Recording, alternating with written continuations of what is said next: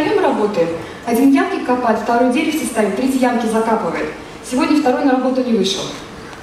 Да? И вот если wellness продвигается хаотично, то вот это получается как в том анекдоте.